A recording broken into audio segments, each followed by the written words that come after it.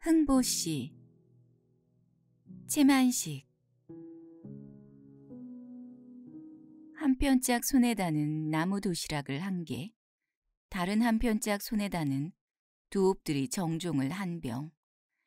이렇게 이야기 허두를 내고 보면 첩경 중산 모자에 깃에는 가화를 꽂은 모닝 혹은 코트에 기름진 얼굴이 불콰하여 입에는 이쑤시개를 물고 방금 어떤 공식 축하연으로부터 돌아오고 계신 모모한 공직자 영감이나 또는 동네의 유지명막 아씨 한 분을 소개하는 줄 알겠지만 실상인즉 그런 게 아니라 바로 저 심상소학교의 소사 현서방의 거동인 것입니다. 교장 선생님이 아침에 코트를 입고 나오시길래 아마 어디 예식에 참례를 하시나 보다 했더니 아니나 다를까 점심 후에 잠깐 나가셨다가 이내 돌아오시면서 그 길에 받아 가지고 오신 도시락과 정종을 술을 본 뒤 한 모금도 못 하시는 어른이라 마개도 뽑지 않은 채 도시락은 반찬 서너 가지 젓가락이나 뜨시다 말고 내주시는 그 도시락과 그 정종이었던 것입니다.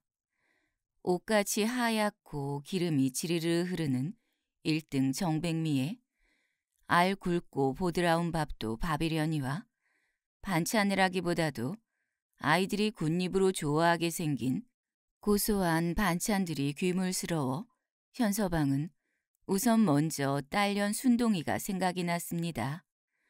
언제고 학교에서 나가 석양 무렵에 집의 일각 대문 안을 햄 바튼 기침과 더불어 순동아 부르고 들어살라치면 기침 소리 부르는 소리보다 먼저 발자죽 소리가 아버지의 돌아옴을 알아듣고서 벌써 그 알량스런 다리로 잘름잘름 대문간까지 뛰어나와 아빠지 하고 매달리는 그 병신 딸년. 불쌍하고도 사랑스런 딸년 순동이던 것입니다. 여느 제 시간에 돌아가는 것도 그대도록 반가워하거든 황차 때 아닌 시각에 손에는 맛있고 귀한 음식을 들고 짐짓 아무 소리도 없이 마당 안으로 들어서게 되면 글쎄 얼마나 반가워하며 얼마나 좋아할 것인고 얼마나 만나게 먹을 것인고 마침 일이 다행하느라고 우편국에다가 급히 갖다 붙이라는 공문 하나가 생겼습니다. 안동 육거리와 제동이 얼마 산 거가 아니니 우편국에 가서 공문을 붙이고 돌아오는 길에 잠깐 집에 들르면 될 것이었습니다.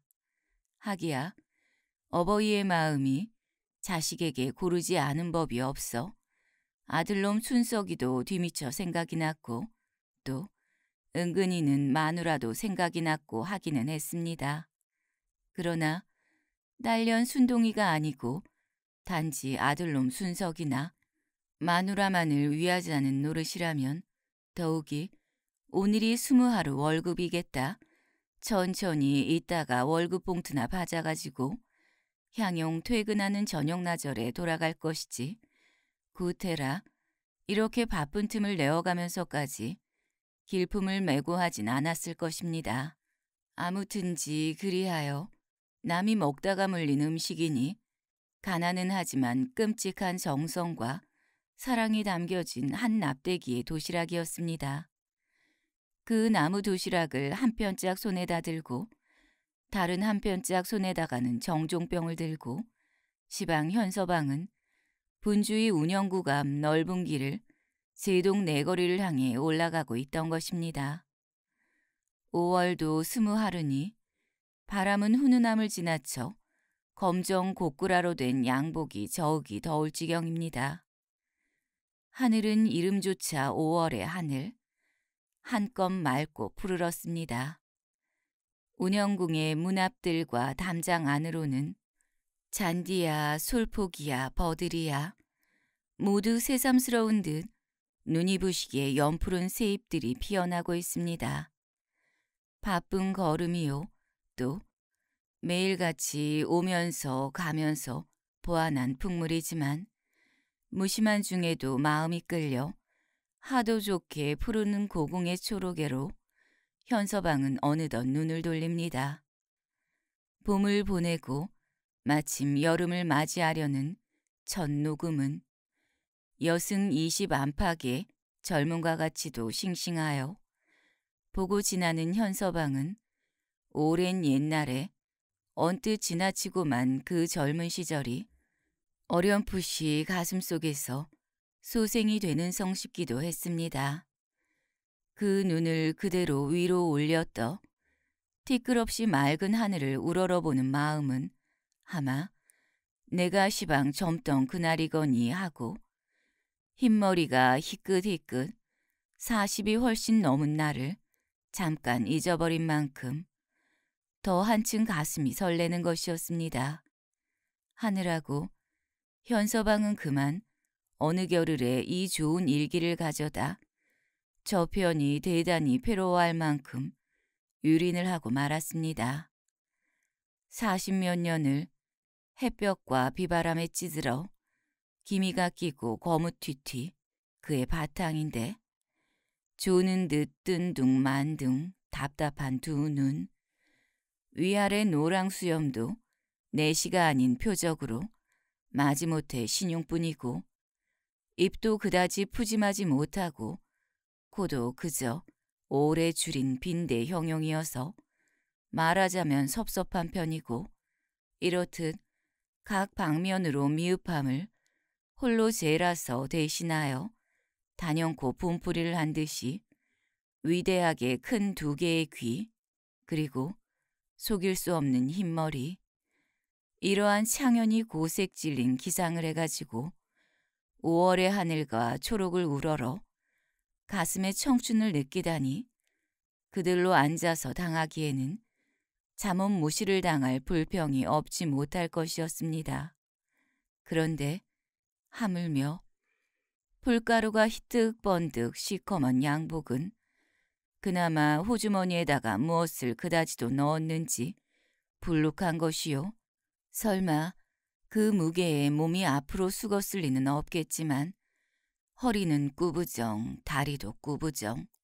국방색 운동화 뒤축을 지축지축 끌면서 걸어가고 있는 태도련이와 그 발뒤꿈치에는 뿌연 먼지가 쌍으로 완연히 연막을 치는 비행기 이상인데야 5월의 맑은 햇살은 그만 여지없이 유린이 되지 않을 수가 없었던 것입니다. 이 신발 뒤축을 끄는 걸음걸이는 현서방 스스로도 매우 좋지 못한 버릇인 줄 잘 알고 있습니다. 가령 신발이 다른 데는 멀쩡하면서 뒤축이 몽땅몽땅 헤어지니 경제적으로도 여간한 손이 아니요. 또 내가 생각을 해도 그렇듯 뒤축을 찍찍 끌면서 걷는 걸음 맵시란 그다지 점잖다 할 수 없는 것이어서 사람이 채모에 참 안 될 일이요. 길을 지나다가 가끔 남한테 저런 정치일 녀석 하고 욕을 먹되 괜히 먼지를 퍼 일꾼 허물이 있으니 할 말이 없고 뭐 이로 한두 가지가 아닙니다.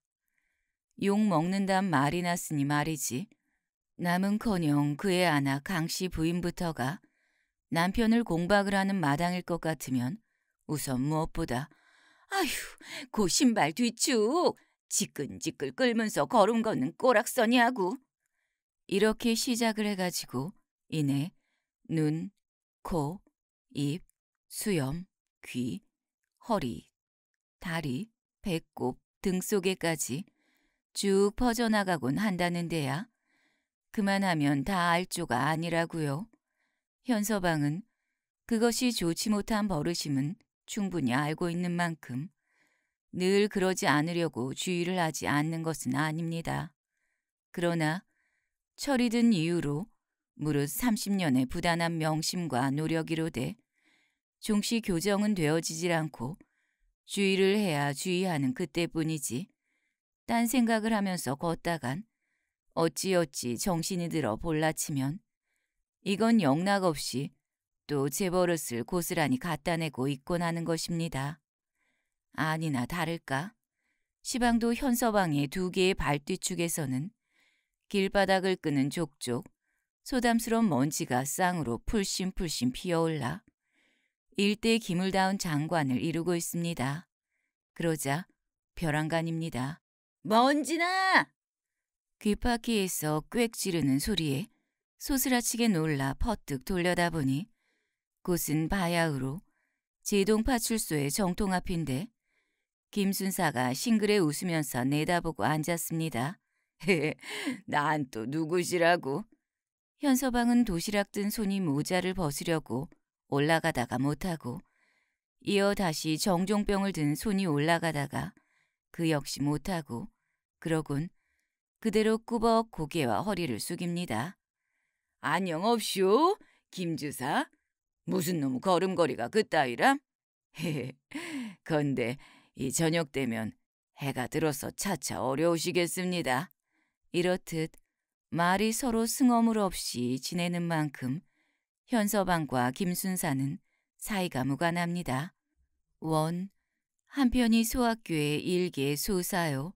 적어도 판인관 대우의 조선 총독부 도순사인 경찰관인데 지체를 무시해도 본수가 있지 숭어물이 없는 건 무엇이며 무관하답게 될 말이냐고 혹이 붕괴를 하는지 모르겠으나 일변 지체는 지체요. 상하의 구별이야 있다지만 그래도 인정은 일반일 경우가 덜어는 없는 게 아니니까요. 그래도 중심 말이 괘씸하다면 어디 이런 이야기는 어떻습니까? 현서방은 김순사와는 집이 문 앞 실골목길 하나를 사이에 두고 대문이 마주난 이웃간이어서 재작년 봄 김순사가 이사를 해오자 다리야 병신일 값에 같은 다섯 살 박이 동갑이라 현서방의 딸 순동이가 우선 김순사의 딸 정자와 사귀어 동무가 되었고 그것이 반년이 되어 양편집 안악길이 교제가 생겼고 다시 그 연줄로 현서방과 김순사가 면분이 두터워지고 그러자 금년 3월에는 김순사의 딸 정자를 현서방네 학교인 심상소학교에 입학을 시키는데 7살, 8살짜리 애기들한테도 소위 입학난이라고 하는 얄궂은 순환이 있어 정자도 아마 어려운 것을 현서방이 크게 서둘렀었고 그 덕에 무사히 입학이 되었습니다. 예로 말하자면 제 외사촌인데 아이고 그 집 딸이거든요. 그러니 다른 아이들은 10명을 제쳐놓고라도 이 하나만은 귀엽고 뽑히게 해주어야 합니다. 라고 교장이나 수석 훈도는 물론이요. 마침 얼굴 아는 개원이 있어서 부천까지 쫓아다니며 얼마나 애를 썼는지 모릅니다. 외사촌은 아니라도 이웃 사촌이라니 아무려나 사촌은 사촌이겠다. 한즉 현서방도 노상 거짓부렁을 했던 것은 아닙니다. 그야 그러나 거짓부렁을 했건 무얼 했건 사랑하는 딸이 무사히 입학이 되었으니 김순산에는 어쨌든 현서방이 고맙고 고마우니 더욱 전보다 친근해질 밖에요. 이만하면 한 소사와 어떤 순사가 서로 좀 흉어물 없고 무관히 지낸다고 하기로써니 과히 망발은 아닐 테지요. 좋구려 오늘, 어? 김순사는 현서방의 손에 든 정종병을 건너다보고 눈에 뜻있는 눈웃음을 들이우고 한마디 근질이던 것입니다.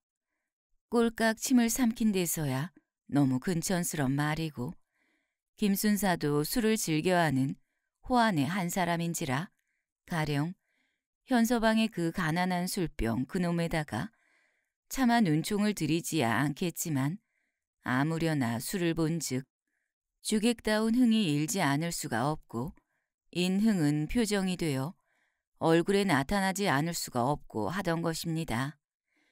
약간 둔하다곤 하지만 일찍이 소시적에는 적지 않이 주도에 종사를 한 적이 있는 만큼 그 방면에 인정의 기미쯤 못 알아챌 현서방은 아니었습니다.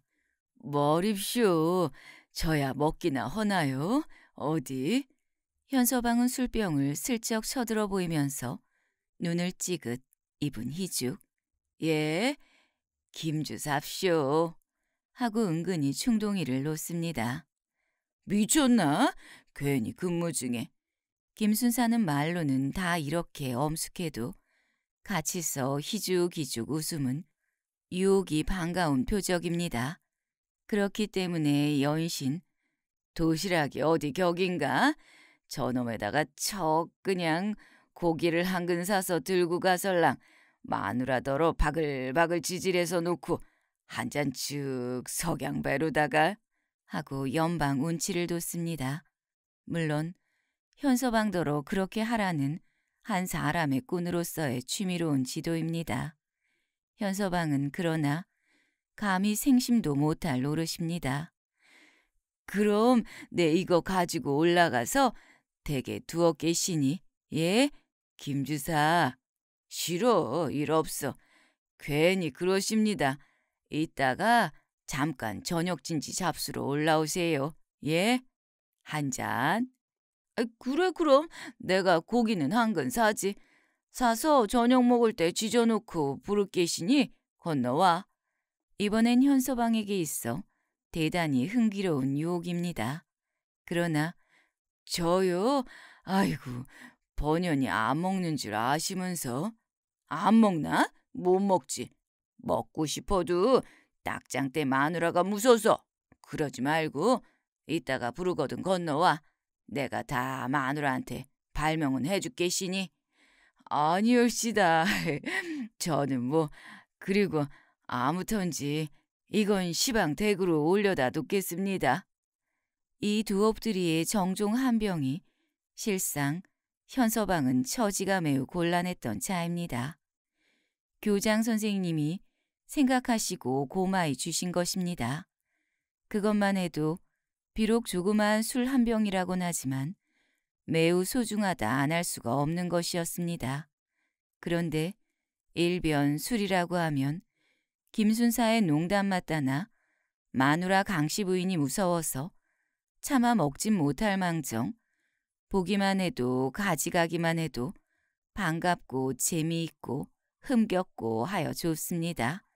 해서 이놈을 시방 도시락과 더불어 아무려나 소중스럽게 집으로 가지고 가기는 가던 것이나 그러나 딱했습니다. 마누라는 술이란 명세 것이면 우선 꼴만 보여도 술 그것에 대한 반감으로 남편이 저걸 아무 때고 먹을 터이니 하는 불안으로 그래 시방시에다가 미래치까지 미리 서 끌어당겨서는 벼락을 한바탕 내떨고야 말 것입니다. 술 한 잔 냄새도 못 맡고 단지 귀하고 고마이 생긴 술이라서 술이란 이름 하나가 흥겨워서 그놈을 집으로 가지고 간 죄로다가 그 엄한 버력을 치르다니 일변 생각을 해야 할 문제였습니다. 그러니 그러면 또 교장 선생님께서 생각을 하시고 주신 그러고 무엇이 되었던 음식은 음식인 걸 함부로 거기 어디에다가 집어내 던져버리고 한 데서야 교장 선생님께 대한 도리도 아니요. 더욱이나 하느님이 무서울 노릇이라 그것만은 참아 못할 짓이었습니다. 한즉 그저 관무사, 민무사 하자면 누구 조금 안면 있는 사람이라도 만나 생색을 내는 채 인심을 쓰는 채 선뜻 내주는 게 가장 상책일 판이었습니다. 하던 참이라 마침 김순사를 만나 그와 같이 처치를 하고 나서 뒤미쳐 생각을 하니 과연 일은 두루두루 썩 잘 되게 되었던 것입니다. 현서방은 그리하여 한시름을 놓은 안심과 겸하여 이웃의 도리로서 모처럼 김순사를 한때나마 즐겁게 해드릴 수가 있게 되었단 기쁨으로 몸은 거뜬거뜬 제동 네 거리를 왼편으로 안동 육거리를 향해 총총히 가고 있습니다. 좀 더 걸음을 빨리 걸어 파출소 앞에서 김순사와 수작을 하느라고 잠깐 충구린 시간을 벌충하자 함인데 그러나 도리어 길품을 또다시 미어야 할 일이 생겼습니다. 저 앞에서 계집아이가 두 놈, 등에는 란도세를 맨채 서로 어깨동무를 하고 이리 밀치락 저리 밀치락 연방 해망을 부리면서 제재거리고 까불고 이리로 오고 있습니다. 둘이가 다 3학년에 다니는 학교의 학생들이었습니다. 두 놈은 거진 바싹 당해서 비로소 현서방을 알아보고 까르르 웃으면서 한 놈은 부교장 하고 한 놈은 또 부교장 경례 하면서 사나이들처럼 조그만 손을 쳐들어 다방머리에 귀 위에다가 딱 붙입니다. 현서방도 얼른 기착 자세를 하면서 경례 하고 술병을 모자챙에다 올려다 댑니다. 그러고는 한바탕 재미스럽게 웃습니다. 소개가 늦었거니와 현서방은 학교에서 현서방이요 소사요 또 한 가지 부교장이란 직함이 있습니다. 어떤 회사에 오래 다닌 소사에게는 어느 겨를에 부사장이란 별명이 생깁니다. 또 어떤 경찰서에 오래 다닌 소사에게는 어느 겨를에 서장 대리란 별명이 생깁니다. 그와 마찬가지로 어떤 학교에 오래된 소사에게는 저절로 부교장이란 별명이 생깁니다. 현서방은 올해 꼬박 19회째 학교의 소사입니다. 그동안에 교장이 6번 갈렸고 교사는 3번을 고쳐지었고 10년적엔 10년 속근의 표창을 받았고 15년적엔 15년 속근의 표창을 받았고 이제 명년이면 20년 속근의 표창을 다시 받을 차례입니다. 그런 만큼 학교의 역사 속에 들어서는 아주 휑합니다. 아무의 연분에는 아무교장이 새로 부임을 했고 아무의 연분에는 아무교장이 아무 곳으로 전근을 했고를 비롯하여 교원들의 진퇴며 졸업생의 수요하며 교사를 고쳐짓던 것이며 운동회를 하던 것이며 그 밖에 무엇이고 모르는 것이 없이 다 알고 있습니다. 그는 그의 두 개의 귀로 더불어 기억력이 퍽도 위대하던 것입니다. 이 좋은 기억력은 그와 같이 과거의 일에도 도움이 될 뿐 아니라 더욱 현재에 유효하여 아이들을 3학년부터 그 위로는 이름을 모조리 다 외우고 있습니다. 길에서든지 어디서든지 청 만나면 조금도 주저없이 너는 몇 학년 무슨 조의 아무개 라고 알아냅니다. 그것뿐인가요? 그 애네 집 동네까지도 대강은 다 알고 있는데요.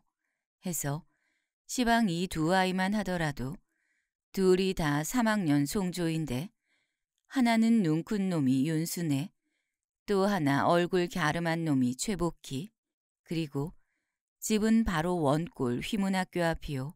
같은 이웃간이고 이렇게 휑하니 알고 있는 것입니다. 이런 걸로만 친다면 부교장커녕 아주 교장도 좋습니다. 물론 낡은 소사를 가르쳐 부사장이니 서장 대리이니 부교장이니 하고 부름은 영원히 그러한 지위를 오르지 못할 운명인 한낱 하인에게 대한 상전의 식구의 동정과 하시가 한데 섞인 일종의 짓궂은 농칭임에는 틀림이 없는 것입니다. 그러나 다만 현서방에 하나요. 그러고 학교의 아이들 가운데 다대수의 소년 소녀들의 하나요. 그렇듯이 미묘하고도 까달스러운 의미로서 부교장이라고 불리고 부르고 하는 게 아니라 진실로 그 어린 아이들이 사없이 단순한 동심으로부터 우러나는 하나의 애칭이던 것입니다. 하되 오로지 그것은 현서방이 끔찍이도 아이들을 귀여워하는 때문입니다.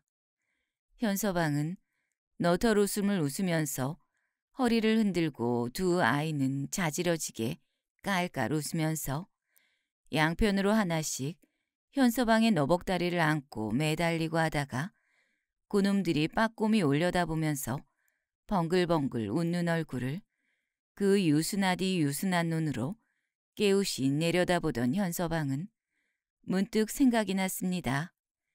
이 애들 3학년 송조는 벌써 아까 아까 2시에 파했는데 그런데 시방 4시가 거진 되었는데 이 애들은 여태 이렇게 길로 다니면서 놀고 그건 참 야단입니다. 근데 근데 너희들 현서방은 조금 걱정스럽게 그러느라고 허리를 구부려 바싹 더 아이들의 얼굴을 들여다봅니다. 너희들 집이나 안 가고 어디 갔다 오냐? 음, 놀러.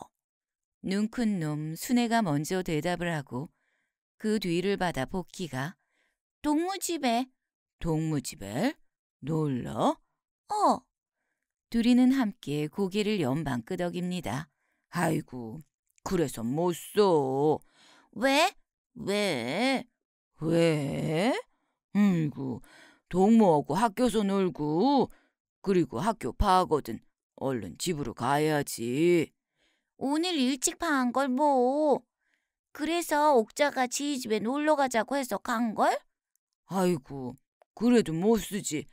아, 집에서 어머니 섰건 아버지 섰건 할머니 섰건 기다리시면 어떡하누? 아이고, 우리 순애가 오늘은 웬일인고? 아이고, 우리 복희가 어째 여태 오질 않는고? 자행거에 다쳤나? 선생님께 꾸지람 듣고 벌을 쓰나 하시면서 걱정하시면 어떡하나? 저거 봐요. 저 커다란 버스가 다니고 자동차가 다닙다 몰려오고 자전거가 획획 댕기고 마차가 댕기고 안 그래? 다치면 어떡거나? 길로 댕기면서 놀다가 그래도 여긴 일 없다누? 순애가 발로 길바닥을 가리키면서 고개를 내두르니까 복희는 또 그럼 여긴 사람만 댕기는 길이니까 자동차도 갱기고 못 온다누? 그러니까 여기로만 댕기면 안 다친다고 선생님이 그러셨어. 아이고 아이고 기트 건지고 현서방은 두 아이의 다방머리를 쓸어주자는데 도시락과 정종병을 양편 손에다 갈라들어 놔서 할 수 없이 손등이 손바닥 대리를 봅니다. 벌써 그런 걸 다 알고 아이고 기특혀. 기특한 게 뭐유 부교장? 부교장 도시락 어디서 났어? 응? 음, 기특 건지고 그 말은 착하고 똑똑하다 그 말이고 술도 있어요? 음 이거 교장 선생님이 저기 예시에 갔다 오셔서 주신 거요. 부교장 먹으라고? 부교장 술 먹어? 술? 음, 술은 안 먹어. 술이 쑤? 음, 아주 쓰고 나쁜 거요. 근데 왜 가지고 가? 어, 이거 저기 누구 가져다 줄 영으로. 그러면 도시락은 맛있지, 부교장. 음, 맛있어. 맛있지. 복희는 여태 도시락 못 먹어봤나? 응. 순애는 먹어보고. 어, 그때 그때 아버지하고 시골 저기 저기 할아버지 시골 가면서 차 속에서. 음, 그래. 이거는 그리고 차 속에서 사 먹는 도시락보다 더 맛이 있는 도시락이야. 전 먹어보렴? 먹고 싶으냐? 줄까? 두 아이는 먹고 싶기는 한 눈치면서도 얼른 대답은 않습니다. 그러느라고 저희끼리 서로 바라보다가 현서방을 올려다보고 하면서 배식배식 웃기만 합니다. 그래, 좀 먹어봐, 응? 반찬만 조금 먹어봐. 현서방은 술병을 길바닥에 내려놓고 도시락을 풀기 시작합니다. 그러나 아이들은 어머니가 욕하게 길에서 뭐 먹는다고. 우리 어머니도 길에서 먹으면 거지래. 아이고, 아이고 참나 그렇지. 현서방은 비로소 크게 깨우치고는 연방 감동입니다. 아이고 그렇고 말고 내가 깜빡 고만 잊었지. 그래 그래 길에서 뭘 먹으면 못 쓰고 말고 그거는 거지나 그러는 것이요. 아이고, 맞네, 맞아. 그러나 현서방은 딱하고 마음에 걸려 어떻게 하면 좋을지 모르겠습니다. 두 아이는 말은 그렇게 해도 종시 그 맛이 있다는 도시락을 좀 먹어보았으면 하는 여전히 호기스러운 얼굴입니다. 그러한 얼굴을 보고서야 그대로 차마 돌아설 수 없고 그렇다고 그 애들 말 맞다나 이 번잡한 길바닥에서 도시락 반찬 나부랭이를 꺼내 움줄움줄 먹인 데서야 생판 남의 집 귀한 애기들을 거지 새끼 구실을 시키는 노릇이고 또 그 짓을 하고 섰는 나도 체면이 아니요. 차라리 도시락을 아직 먹어보지 못했다는 복희한테 반찬 넣은 것만이라도 저희 집으로 가지고 가라고 들려주어 보내는 게 그래도 낫기는 나을 편인데 수대 것이 아니요. 젓갈을 댔던 것이어서 그 역시 저의 부모가 불쾌히 생각할 게 뻔한 일이니 또한 난처하고 결단코 딸 순동이를 가져다 주겠다던 것이어서 조금치라도 아까운 생각이 들거나 하던 것은 아닙니다. 시방 현서방은 참으로 아이들을 오히려 만나지 않았더니만 못하다고 말이 나지 않았더니만 못하다고 어찌할 바를 몰라 뒤통수로 손이 올라가다가 문득 사방을 둘러봅니다. 마침 가까이 과자 가게가 하나 있긴 합니다.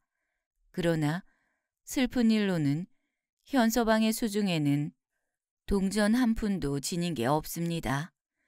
언제라야 돈을 지니고 다니는 사람이었을까마는 오냐 내가 인제 인제가 아니라 바로 오늘 이따가 월급을 타거들랑 마누라한테 가져다 주기 전에 돈을 20점만 가만히 떼어서 잘 두었다가 이제 내일이고 모레고 맛있는 과자를 하나 앞에 10전어치씩만 사서 줄이라.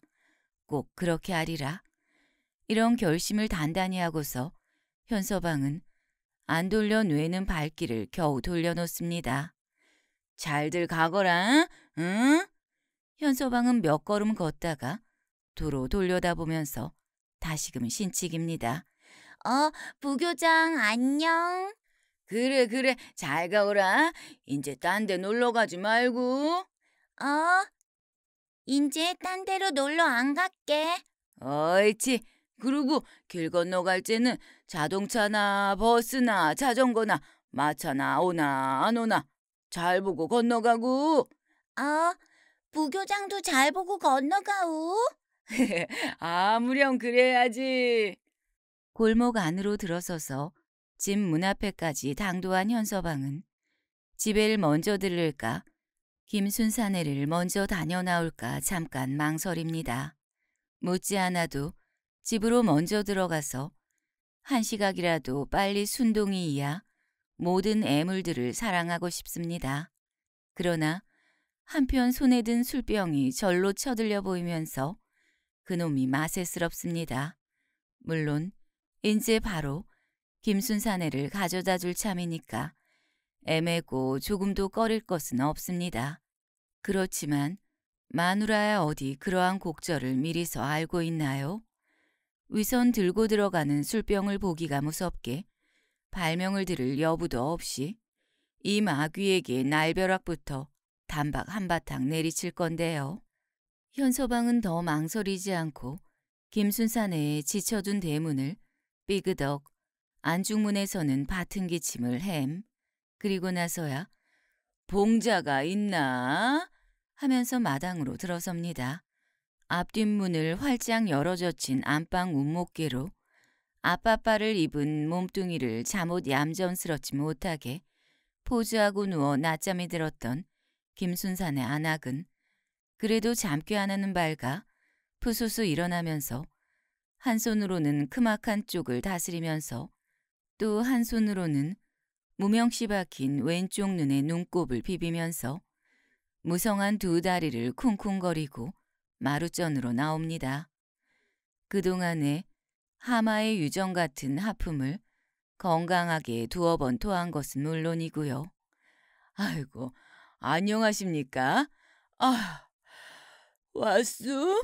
아유, 짬박 잠이 들었네.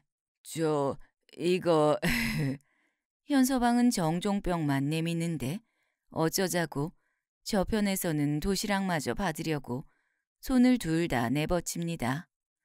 사랑 양반이 더러 이렇게 도시락의 술병을 양편 손에 갈라들고 돌아온 적이 있곤 해서 분명 그것인데 오늘은 그러자 현서방이 마침 파출소 앞을 지나는 것을 아 여보게 이거 이왕이니 우리 집에 좀 올려다 둬주게 하고 심부름을 시킨 줄로 당당히 오해를 했던 것입니다. 현서방은 그러한 저편으로 속상까지 짐작을 하고서 일을 당하자니 딱 그만 질색을 할 노릇입니다. 질색이라니 시방 어엿하게 심부름하느라 수고했구랴 하면서 둘을 다 받아들이자고 양손을 벌리고 나섰는데야 이건 당장 큰일 났지요. 아니올시다. 그것만 드리고 이건 안 드릴 거랍니다 하면서 도시락을 든 손이라던 뒤로 잡아당길 용기는 도저히 낼 수가 없는 현서방인 동시에 또한 처지이겠다 해서 꼼짝 못하고 두 가지를 다 빼앗기고 돌아서자 그만 펄씬 주저앉아 엉엉 울고 싶을 지경입니다. 일건 정성스럽게 딸 순동이를 먹이자고 먹으면서 좋아하는 양을 보자고 허위단심 손에 들고 올라왔던 것을 달칵 그만 뺏겼으니 아까 길에서 만난 그 아이들의 경우와 달라 아깝고 섭섭한 것이거니와 이제 그네들한테 애꿎이 욕을 한바탕 먹어두었으니 억울하기까지 합니다. 교장 선생님이 그렇게 서너 번이나 뜨시다가 내주신 거니 시방이라고 펼쳐본다면 먹다가 물린 표적이 단박에 드러날 터 하더라도 김순산의 안악이야 우선 당장은 남편이 몇 젓가락 뜨다가 말았나 보다 심상이 여기겠지만 오래지 않아 김순사가 집에 올라오면 그제는 음식의 내력이 즉 현서방이 부주를 한 것이 밝혀질 터 하고 보면 영락없이 아니 나는 또 당신이 자시다가 올려보냈다고 뭐? 먹던 거야? 이처럼 망할 녀석이 있나? 날더러 지 주둥이 됐던 도시락 찌끄러기 먹으라고 가져다 주더람? 아이고 고얀 녀석 같으니 하고 괘씸히 생각을 할 테니 욕은 둘째로 잘못하다가는 볼기를 넙죽 맞게 될 터 현서방은 생각하면 생각할수록 딱해 죽겠고 기가 막혀 죽겠고 합니다. 가난한 도시락 한 납대기가 어찌하자고 천신이 돌아와 가지고는 아까 길에서부터 끝끝내 이렇게 공경과 슬픔을 주는지 알 수 없는 일입니다. 순동 엄마는 어디 나가고 없고?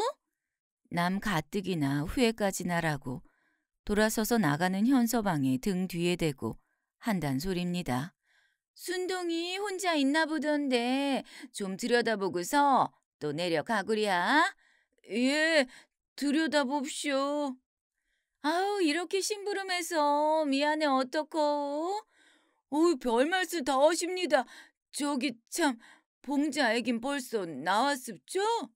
어, 아까 오정 전에 파하고 나와서 아마 저기 밖에서 놀지. 신발 소리만 듣고도 아버지가 돌아오신 줄을 아는 순동인데 말소리가 빤히 들리는 두 집 사이겠다. 벌써 몰랐을 리가 없습니다.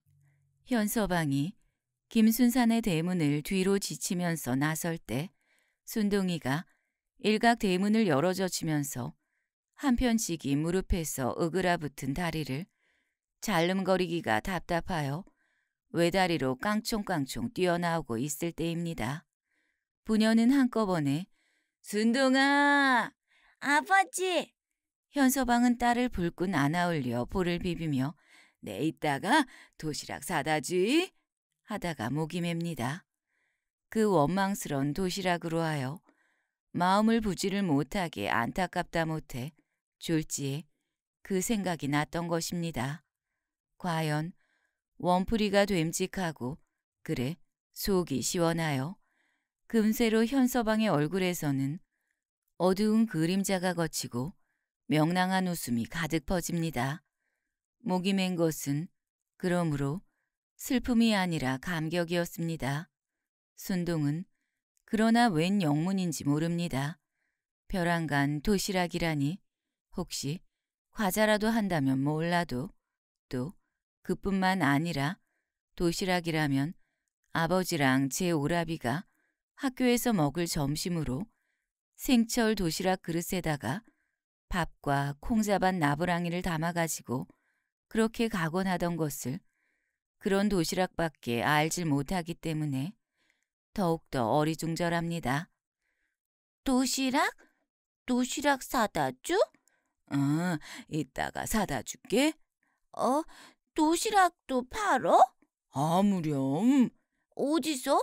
저기 정거장에서도 팔고 어, 그건 맛있어? 아무렴 맛이 참 좋단다. 아, 맛있겠다. 어, 먹고파. 단지 어리광인 것이 아니라 먹고 싶은 것도 하도 많음직하게 생긴 얼굴입니다. 홀쭉하니 긴 하장에 헬스감 바탕인데 눈이 기형적으로 크고 목은 가느다랗게 길기만 하고 앞으로 옥은 좁다란 어깨하며 선병질 일시 완연합니다. 응당 간유랄지 칼슘 제제를 먹였어야 할 것이지만 또 넉넉지 못하다곤 해도 고만 것을 대지 못할 바는 아니지만 무지하여 모르는 탓으로 그냥 내버려 두기 때문에 아이가 마치 뽑아놓은 콩나물 생기듯 생겨가지고 육장 입만 궁금해합니다. 게다가 또 다리 하나가 병신이어서 올해 벌써 일곱 살이로 돼 학교는커녕 활발스럽게 나다니면서 일광을 쬐고 뛰놀고 하지를 못하고서 밤이나 낮이나 집안에만 틀박혀 있고 나요. 가뜩이나 발육이 좋지 못합니다. 현서방은 하기야 학교에 들여보내서 장차에는 끝까지 공부를 시키고 싶은 마음이 없는 것은 아닙니다. 그러나 아직 것은 그만해도 철이 덜 나서 그런지 남이 숭을 보고 아이들이 놀리고 한다고 학교란 말만 해도 생질색을 하며 마다고 하는데 억지로 어떻게 하는 도리가 없습니다. 순동이가 그렇게 쫓아나온 뒤를 바둑이도 따라 나온 것을 현서방은 순동이와 도시락에만 정신이 팔려 깜빡 모르고 있었습니다. 흰 바탕에 검은 점이 박힌 테리아 종자의 바둑강아지인데 요놈이 현서방의 순동이 다음에 가는 애물입니다. 바둑이는 연신 반갑다고 밑에서 꼬리를 치고 해도 몰라주니까 샘이 자꾸만 나서 현서방의 다리를 타고 기어오르자고 듭니다. 그제서야 현서방은 알아차리고 아이고 우리 바둑이가 나온 걸 몰랐구나 하면서 안았던 순동이를 내려놓고 바둑이의 머리를 만져줍니다. 바둑이는 납작 땅바닥에가 엎드려서는 두 귀를 착 쳐트리고 좋아라고 꼬리만 내두릅니다. 자, 들어가자.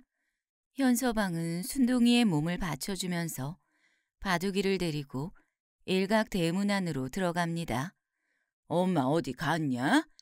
기도해 주러 갔다오? 기도?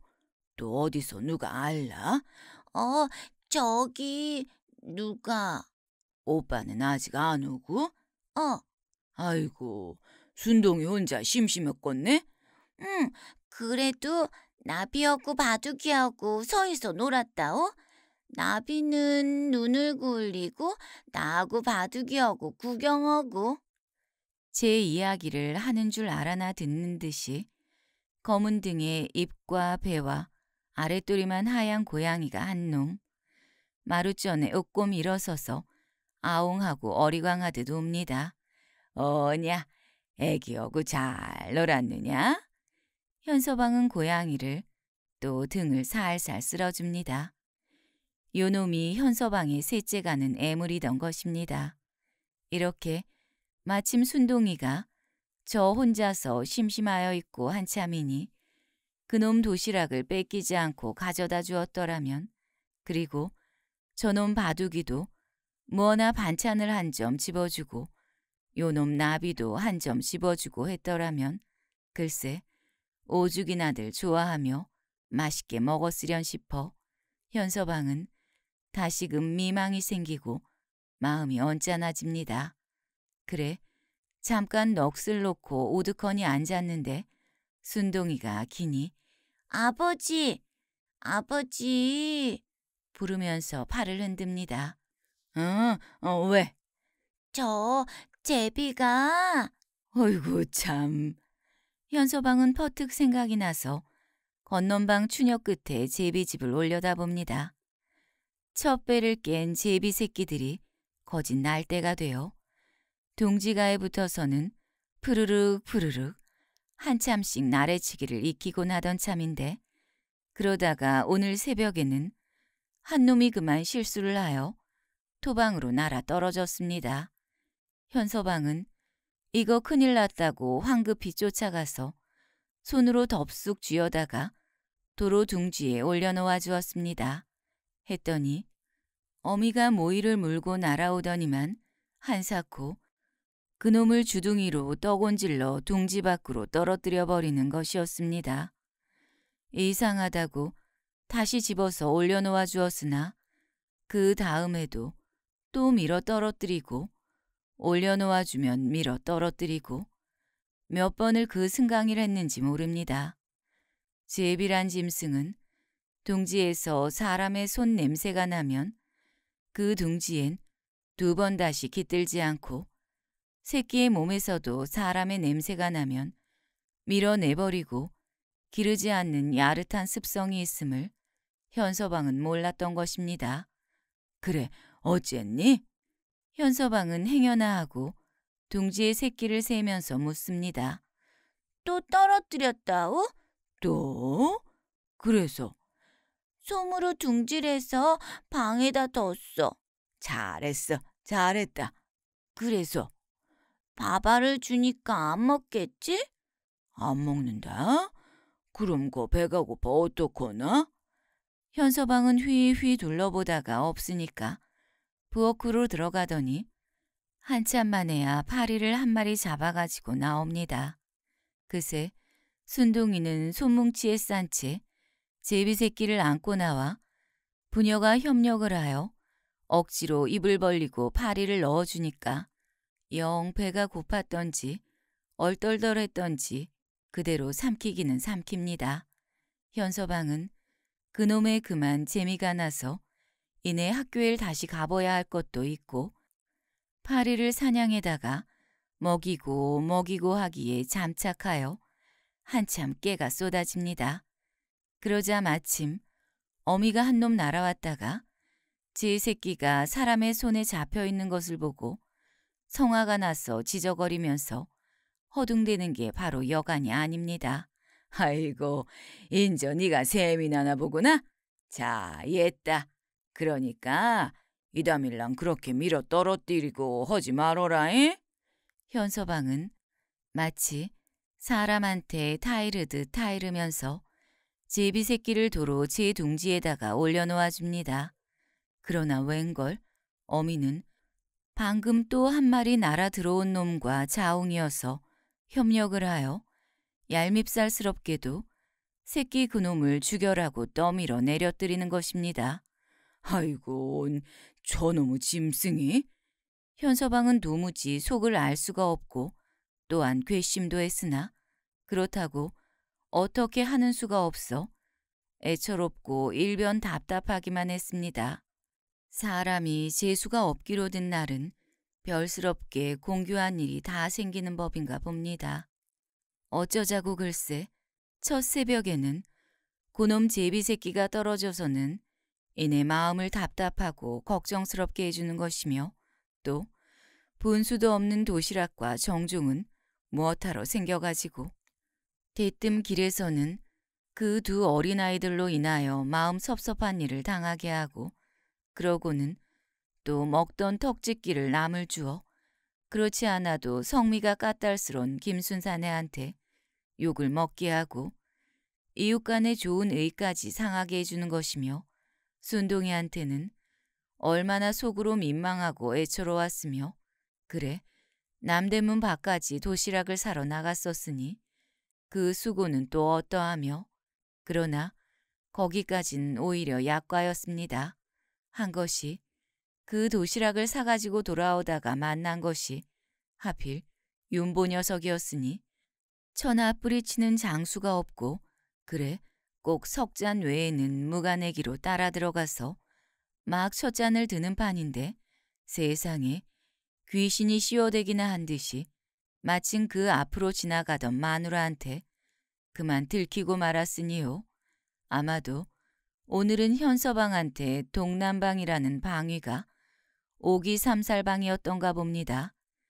현서방이 아까 그때 다시 학교까지 내려와서 월급 봉투도 찾고 나머지 일도 대강 마치고 그러고 나서 부랴부랴 남대문 밖을 걸어나가 이 집 저 집 알아보다가 가까스로 도시락 해 파는 집을 찾아가서 겨우 하나를 사가지고 허덕지덕 다시 안동 육거리까지 당도하기는 일곱 시가 훨씬 지나섭니다.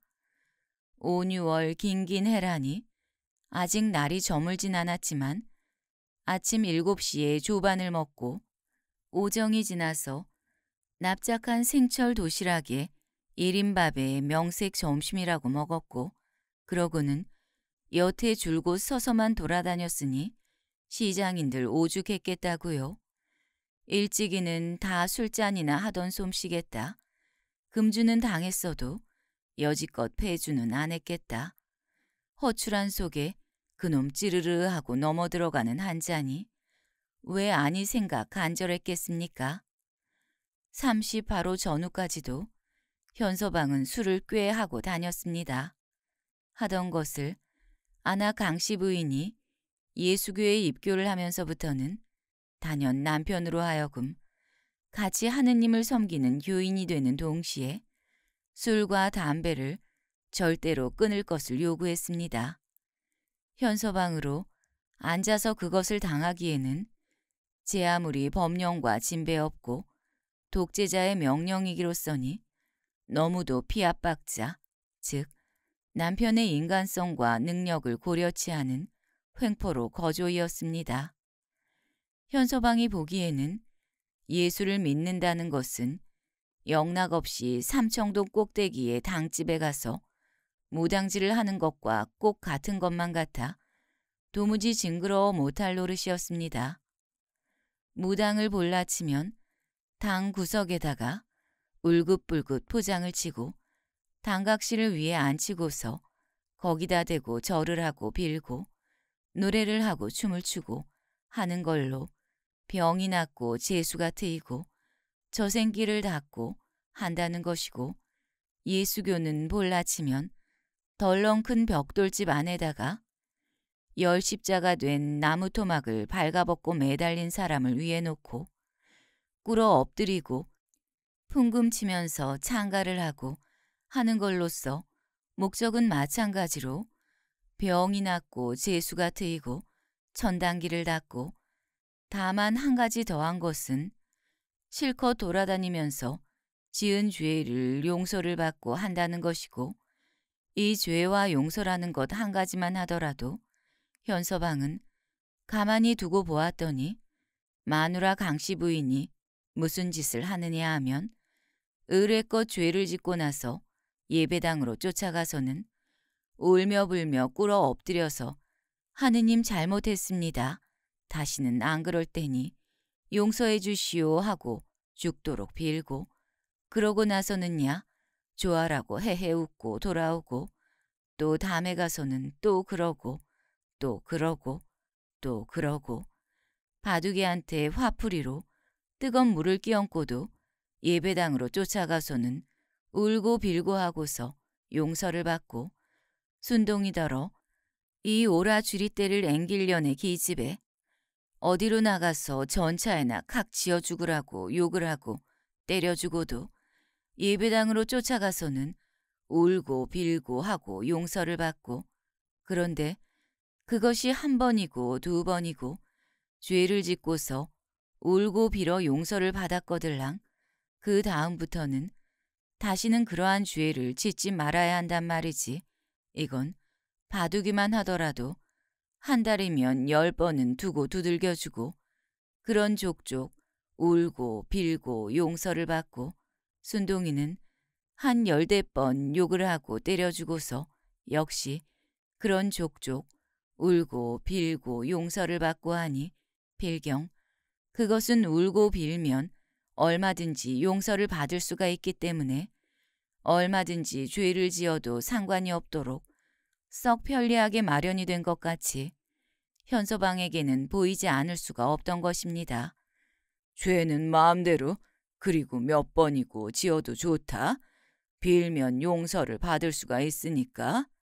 그러니 죄를 지으면 벼락을 때리시던 조선 하느님과는 달리 그이는 어떤 하느님인지 몰라도 퍽 인심이 후한 하느님인가 보다. 만약 전용애 같은 놈만 예수만 믿으면서 백백교를 했더라면 죄다 용서를 받고 천당을 갈 뻔했겠다고 현서방은 언젠가 한 번은 보다 못해 마누라 강씨 부인더러 들이댄 적도 있었습니다.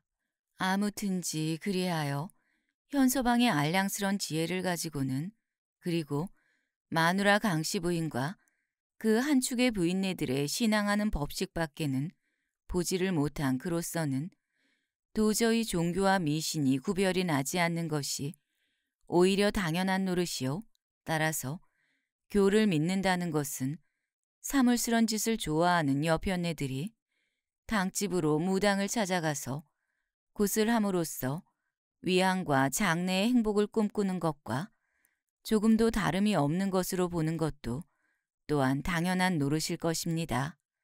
자연 무당 노름이 맨살에 버러지가 기어가는 것처럼 징그러운 그는 예수교도 징그러워 도무지 믿을 정이 들지를 않았을 밖에요.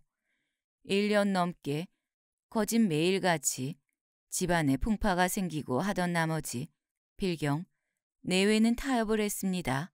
즉 현서방은 죽여도 예수는 못 믿겠으니 그 대신 술과 담배만 끊기로 내력이 그러하여 현서방은 금주를 당했던 것이고 한 것이 그럭저럭 10여 년이 하마 넘었습니다. 그 덕에 아무려나 시방은 모주꾼을 면했고 40원이 채 못 되는 월급이지만 아들놈 순석은 상업학교까지 보내면서 내 식구에 그다지 살림이 옹색하진 않고 순동이를 위하여 2원짜리와 1원 50전짜리에서 두 몫이나 등 간이 보험도 잘 부어가고 이렇게 말하자면 팔자를 고치다시피 한 일을 가끔 생각할 때 처음 당할 때는 다 참 싫고 야속스럽고 했어도 이게 모두 마누라의 억지 센 덕인가 하면 곰곰이 고마운 정이 솟곤 하던 것입니다. 그러나 그와 같이 금주는 당했어도 폐주를 안 했던 만큼 마누라 강씨 부인이 쥐야장천 뒷공무니를 따라다니지 못하는 터이겠다. 마침 오늘처럼 속은 출출하고 꼭 한 잔 생각이 간절한 참인데 옛 술친구라도 무뚝 만나 석양배 한 잔을 하자고 끄는 마당에야 이를 능히 뿌리칠 힘은 지니질 못한 현서방이었습니다.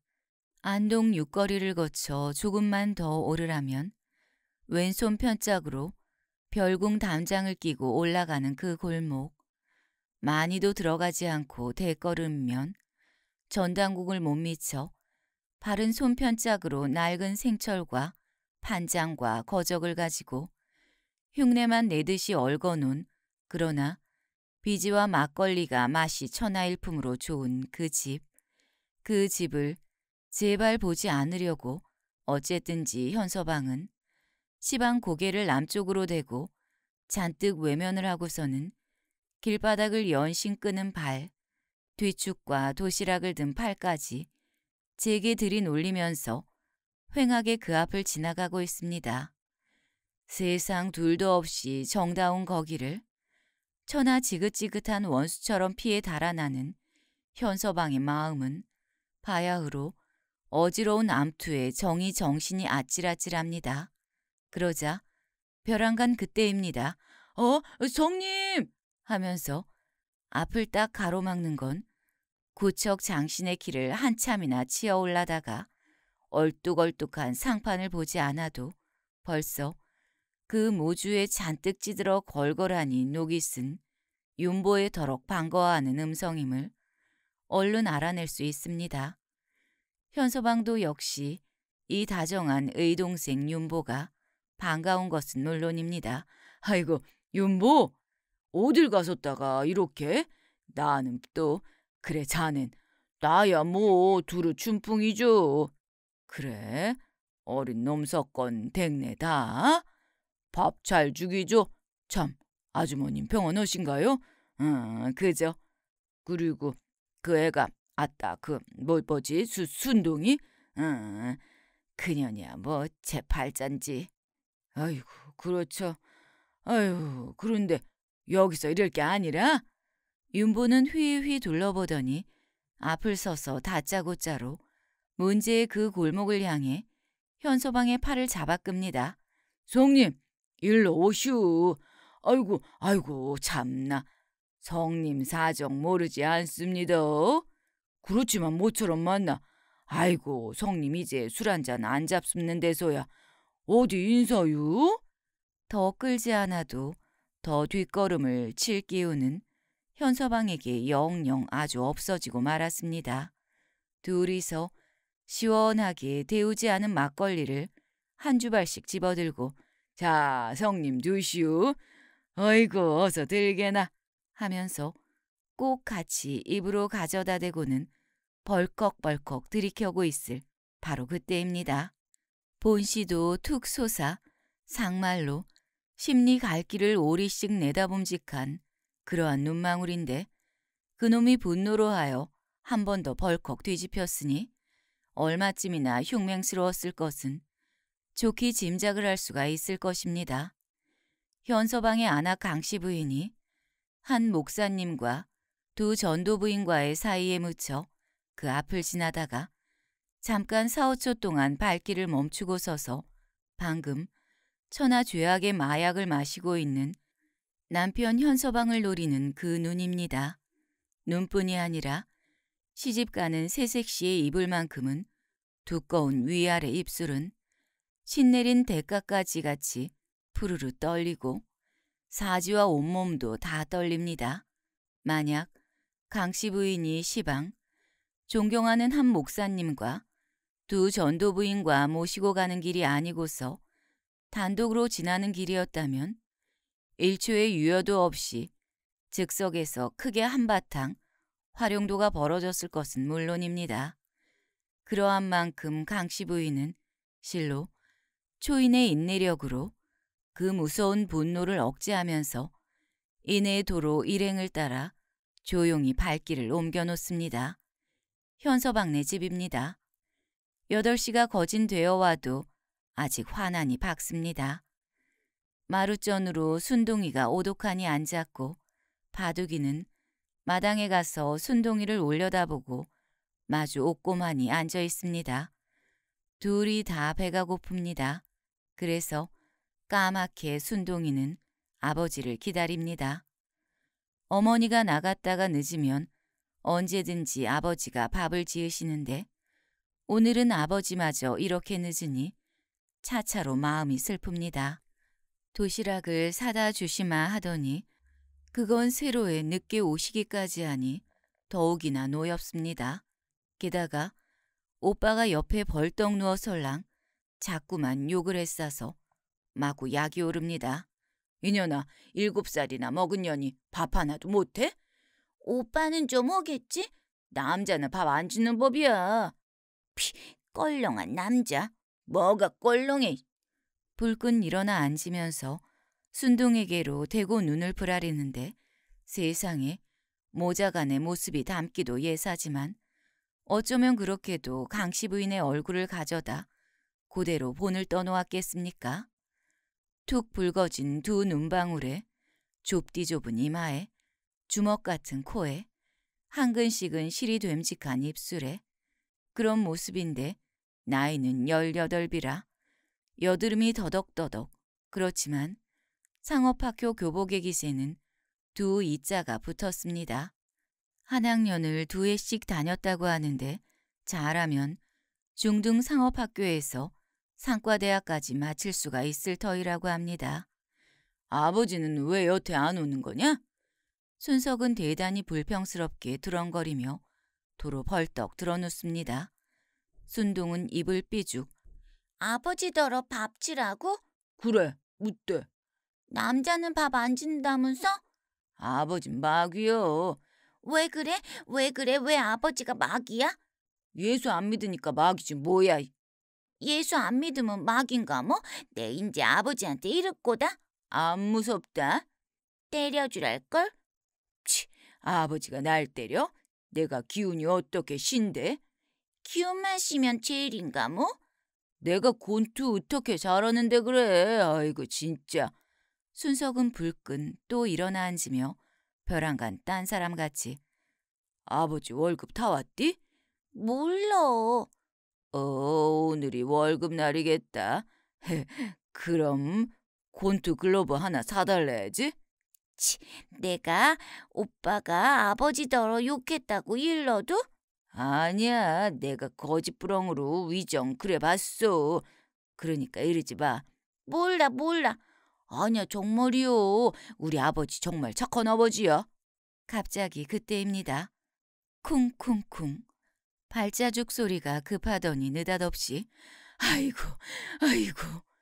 외장을 치면서 지쳐둔 일각 대문을 왈그락 딱 이어서 아이고, 아이고 나 죽는다. 두 아이가 한꺼번에 놀라 순석은 후다닥 쫓아나가고 순둥이는 와들와들 떨면서 마루 구석으로 기어들어가고 바둑이는 꼬리를 잔뜩 사리고서 마루 밑으로 들어가 숨고 나비는 안방 문턱 너머로 두 눈이 둥글해서 내다보고 섰고 동네가 온통 놀라고 아이고 아이고 아이고 나 죽어. 어머니 어머니 어느 겨를에 다 그렇게 구비가 되었는지 순석에게 부축을 받아 비틀거리며 연방 외장을 치면서 마당으로 들어서는 강씨 부인은 머리 쪽은 거진거진 털어져 있고 매무씨는 흘러 상당한 용적의 맨살이 드러났고 고무씨는 한 짝은 신고 한 짝은 손에 들고 이렇습니다. 아이고, 이 원수를, 이 왼수를 어떡한단 말이냐? 이 왼수를. 근자로 새로 이사를 해온 이웃이 있다면 영락 없이 저 옆편네가 씨앗을 보고 시방 반실성을 했나 보다고 생각을 할 것입니다. 물론 뒤미처 곡절을 알고 나서는 잠옷 어처구니가 없다고 서로 얼굴을 쳐다보겠지만요. 외장을 끊이지 않고 기운차게 계속이 되고 일변 순석은 마루 구석에 가 박혀 앉아서 떠는 순동을 불이 나도록 힐타합니다. 순동아, 얼핏 가서 박부인, 최부인, 섭섭어머니 모두 오시라고 못해? 5월이라곤 하지만 정밤중은 싸늘하게 찹니다. 도시락을 소중스럽게 옆에다 놓고 앉아 일각 대문에다 등을 기대고 품에는 바둑이를 담수 감고 더불어 졸다가 깨었다가 하면서 현서방은 밤을 밝히고 있습니다. 기왕 집에 들어가지 않을 바이면 학교에는 숙직실도 있고 하니 그리로 가서 잘 수가 없는 것은 아니었습니다. 그러나 현서방은 나 혼자서만 편안히 잠을 자느니보다 이렇게 대문 밖에서 떨고 앉아 아버지를 기다리고 울다가는 지쳐 혼자 꼬부리고 누워 애초로이 잠이 들었을 순동이를 생각하면서 걱정으로 이 한밤을 세우는 편이 훨씬 더 마음은 편안합니다. 요행 바둑이가 냄새를 맡고 나와주어 품 안에 안고 같이 지내느니라 얼마나 마음 든든한지 모릅니다. 달은 지고 없고 별만 새삼스럽게 하늘로 하나 가득 반짝입니다. 땡, 땡. 집에서 시계가 두시를 치는 소리입니다. 시방이 춥고 그래서 현서방은 자꾸만 어깨를 웅숭크립니다. 그러나 이제 두어 시간만 더 기다리면 날이 셀 테고 날이 새면 어떻게든지 가만히 순둥이를 불러내어 이 도시락을 줄 수가 있습니다. 그 좋아할 얼굴을 생각하면서 현서방은 빙글에 바둑이의 머리에다가 볼을 비빕니다. 밤은 모두 괴게하고 하늘서 별똥이 하나 길게 흐릅니다. 현서방은 어느새 또 꾸벅꾸벅 졸기 시작합니다.